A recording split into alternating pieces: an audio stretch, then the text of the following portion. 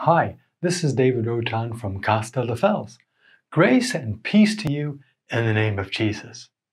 This is the seventh and final one in the series of seven videos called Seven Steps or Seven Ideas to Connect People with God.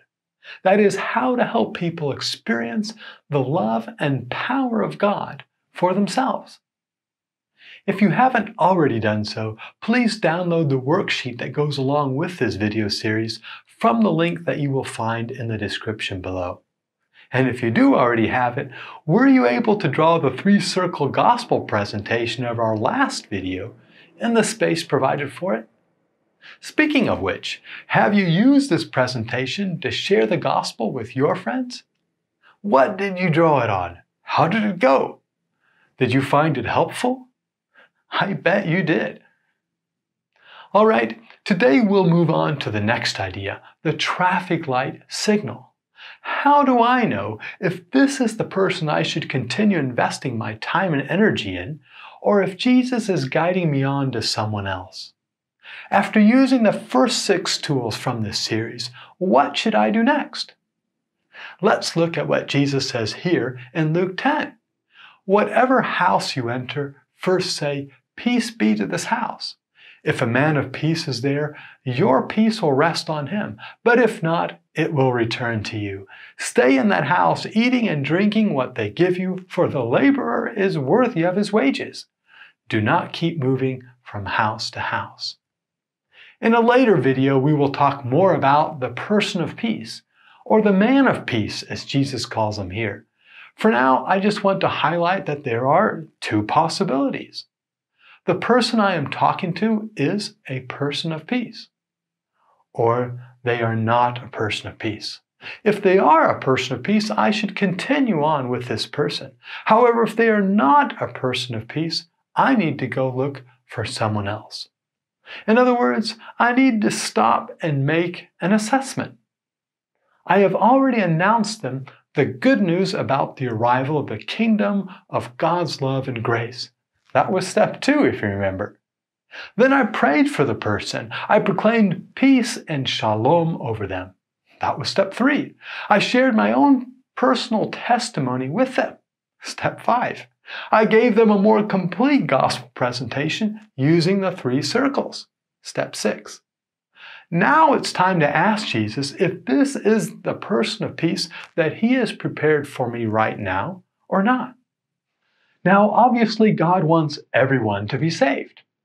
1 Timothy 2, 3, and 4, the 1, 2, 3, 4, says, This is good and acceptable in the sight of God our Savior, who desires all men to be saved and to come to the knowledge of the truth. Does God want to save the person in front of me? Absolutely. But maybe it's not His plan to save them through me, or at least not at this moment. I'm not the Savior. I'm only an assistant to the Savior, and I can only do what the Father is already doing. In John 5:19, Jesus says, Truly, truly, I say to you, the Son can do nothing of himself unless it is something he sees the Father doing. For whatever the Father does, these things the Son also does in like manner. So if Jesus, who is both God and a perfect human being, limited himself to doing only what the Father was doing, how much more should we do the same? So we stop for a moment and ask ourselves, what is the traffic light signaling? I don't know about your country, but here in Spain, traffic lights have three colors red, yellow, and green. If the person doesn't show any interest at all in finding out more about Jesus, we could say that the signal is red. In other words, they are not the person we are looking for today. We need to go find someone else. However, if the person does show interest in knowing more about Jesus, in receiving prayer, or hearing more about the gospel, but isn't yet ready to make the decision to give their life to Jesus, then we could say that the signal is yellow, or at amber if you're from the UK, or orange in some places of South Africa, I've heard. Of course, there they call the whole device a robot. But anyway, what do we do if the signal is yellow slash amber? Well, we would meet with them again to talk and pray some more. Or we could invite them to a Discovery Bible study. Now, here in Spain, it's quite likely to sound strange to them if we say it just like that. But we could simply read a verse uh, to them off our phone, such as John 10:10, 10, 10, for example. The thief only comes to steal and kill and destroy. I came that they might have life and might have it abundantly. Then we ask them, Do you find this interesting, what Jesus says here? Can you see how it might relate to your life? Would you like to be part of a small group that meets at our local cafe to read the Bible together and discover what it says to each one of us? In the next video, I'll explain the basic concept of the Discovery Bible Study and a really simple way of leading one.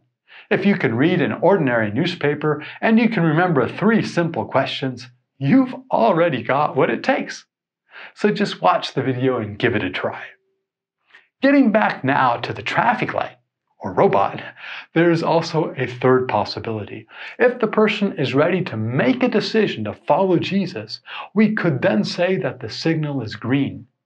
If you haven't already done so, guide them in a prayer of acknowledging the cross and surrendering their life to Jesus, as we explained in step four of this series. Then I ask them to read Mark 117. And Jesus said to them, Follow me, and I will make you become fishers of men. Here, Jesus commands us to do two things follow him, that is, listen to him, receive his love and care, grow in healing and restoration, obey him. That is the first part. It's like the first uh, side of the coin. The second thing that Jesus commands us to do is to be fishers of men. That means helping other people experience God's love in the same way that you have. Wouldn't you like your friends and family members to experience Jesus' peace too? Wouldn't you want them to feel the same joy that you felt when you prayed to give your life to Jesus? That's what it means to be a fisher of men. That's uh, the flip side of the coin. And if they accept the challenge to follow Jesus and become fishers of men, I just give the coin to them. Let's watch the final part of the video with Justice and Sandra and see how he does this exact thing with her. Hey Sandra, so as I was explaining to you in the three circles, part of what it means to follow Jesus is to help people in their brokenness. Mm-hmm. And there's some words that Jesus says in Mark chapter 1, verse 17. Can you read them? Yeah, sure. And Jesus said to them, Follow me, and I will make you become fishers of men. Okay, so this scripture is twofold, not unlike two sides of this coin. Mm-hmm. The first side is to follow Jesus, the decision you make today to obey Him, to receive His love and His care, mm-hmm. to receive His peace and restoration. Um, but there's a second side to what Jesus says, mm-hmm. like the other side of this coin, and that's to be a fisher of people that means to go out into this world and to help people experience what you experienced today. And wouldn't you like your friends and family to experience um, the peace that you received today? Yeah, definitely. Wouldn't you like them to um, receive the love and joy that you felt as you prayed to Jesus? Yeah, sure. Awesome. So that's that's what it means to be a fisher of men.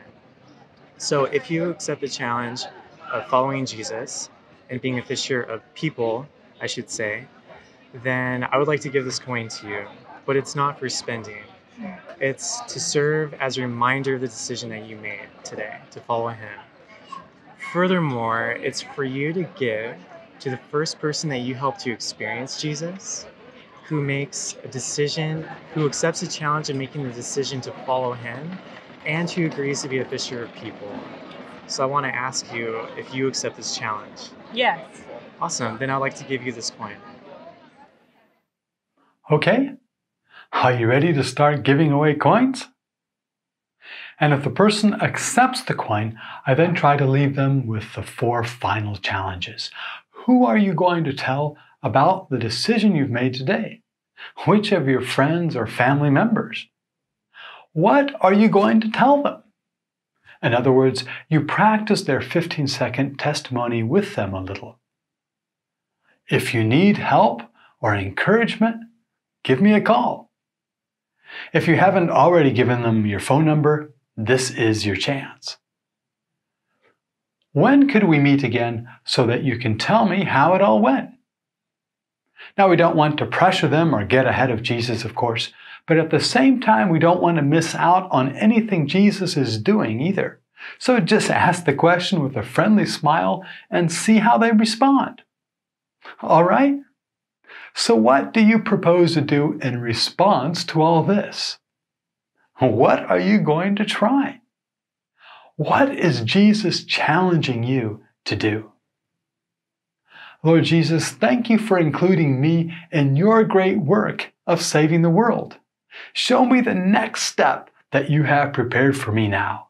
Fill me with your Holy Spirit and give me the confidence and courage to follow you and be a fisher of men. Amen. We'll end here. Thanks for watching the video. If you found it helpful, please give it a like and share it or write something in the comment section. And like I said, the next video will be on the Discovery Bible Study. How can I help other people experience for themselves how the Bible truly is living and active and brings blessings to all those who obey it?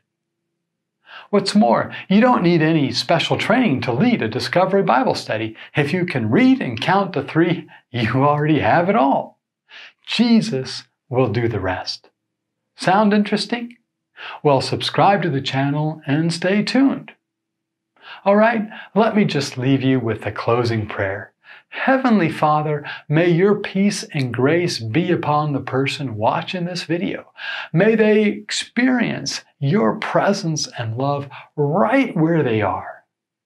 Holy Spirit, reveal more of the Father's love to them and fill them with your power to make disciples this week. Amen.